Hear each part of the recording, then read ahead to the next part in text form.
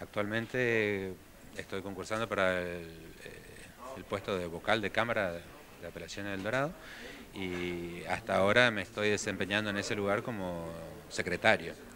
Así que, bueno, de ser aprobado el pliego hoy, accedería al cargo de vocal, que sería el cargo de juez. Y bueno, junto con otros cuatro colegas, somos los integrantes de, la Cámara del Dorado. ¿Cuál es la situación de, eh, en el interior, digamos, de la justicia? Hoy se habló mucho aquí de los avances y demás en, Posadas. ¿La situación del interior es similar o está muy lejos de eso? Bueno, hay cosas, hay problemáticas que son similares. Por ejemplo, el retraso que sufre la justicia hoy en día es bastante común en todos los, para todas las circunscripciones. Eh, en el caso del Dorado lo que quizás cambia es que el, acceso a la justicia de, las personas es un poco más complicado porque las propias distancias hacen que, sea otra realidad. En, nuestra, en el norte de la provincia los juzgados están o abarcan eh, lugares de terreno mucho más amplios. O sea, la tercera circunscripción del Dorado va desde Monte Carlo hasta Iguazú y desde San Pedro hasta Andresito. Así que cada vez que, alguna persona de estas localidades tiene que transitar por un litigio judicial, eh, tiene que moverse grandes distancias. Y la distancia complica a la persona y atenta contra el acceso a la propia justicia. Así que bueno, es el compromiso nuestro desde la justicia lograr que una vez que estén ahí eh, facilitarles el ingreso y luego facilitarles el tránsito para que sea lo más rápida y eficaz posible. ¿Cómo está en cuanto a rapidez, celeridad?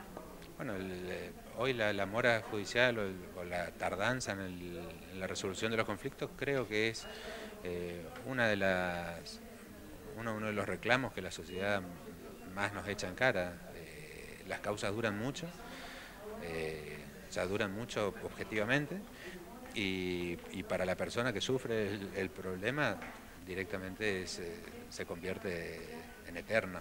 Entonces el compromiso es acelerar un poco, acelerar la tramitación de las causas para que llegue la justicia mucho antes de lo que está haciendo actualmente.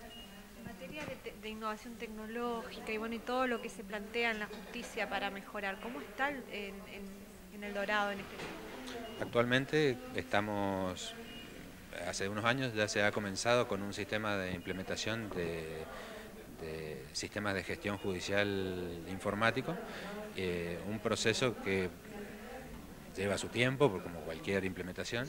Actualmente la Cámara a la que pertenezco no cuenta con sistema informático de gestión, pero eh, espero que muy pronto ya contemos con ello para poder unirnos al resto de la, de la provincia.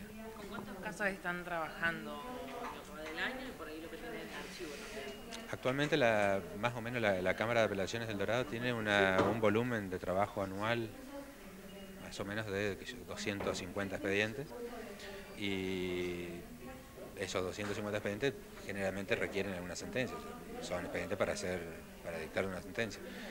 Eh, el desafío es, por un lado, que disminuyan para que pueda, la disminución de causa hace que uno pueda eh, tramitar con mayor dedicación las restantes y esas restantes a su vez dar una mayor celeridad. Entonces bajar los plazos eh, lo máximo posible para que cuanto antes las partes tengan una sentencia que resuelva el caso para el cual acudieron al sistema judicial.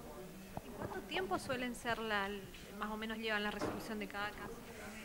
Bueno, dependiendo, eh, lo que pasa es que hay un sinnúmero de causas disímiles, o sea, hay causas que son simples y causas que son más complejas. Eh, pero las causas que desalientan mucho a,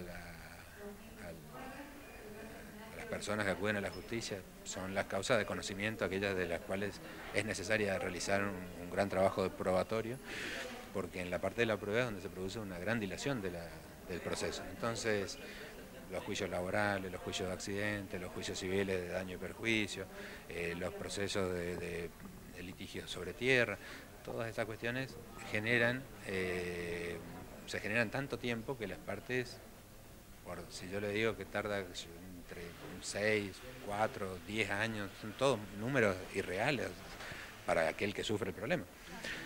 Entonces, eh, el desafío es lograr sentencias mucho más rápido, en, plazos más razonables, no le puedo decir cuál es el plazo de cada, pero se tiende a que realmente que, que, los, que los, plazos se acorten para que la, la persona vea eh, resuelta su situación cuando todavía es un problema y no cuando ya terminó solucionándolo por, otra, por otro lado.